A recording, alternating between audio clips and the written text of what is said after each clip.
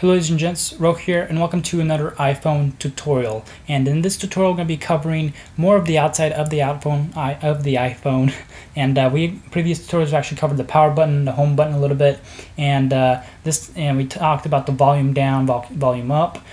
This tutorial we're mainly going to be covering the actual the silent mode on or the ringer mode on. As you can see, when I switch mine, uh, this uh, let me get closer here. This top one right here if I switch it to a different uh, input, you can notice that it changes to ringer mode, and then then it goes to silent mode.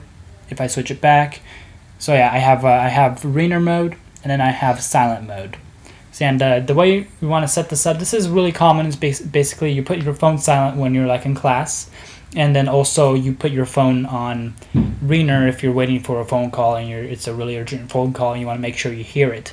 So for this to for to do this is what you're gonna do is um, to basically to adjust this the way you want it is you're gonna go to um, your settings app. And I'm gonna show you guys right here. You can do the search like I showed you guys in the previous tutorial by drag swiping down the search and then typing in go into your settings.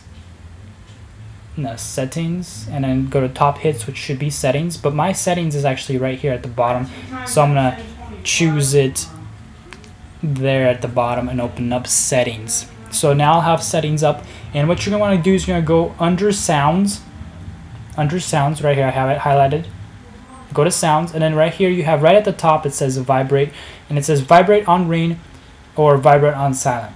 And if you want the way I have my settings just uh, make sure this one here is off and this one here is on.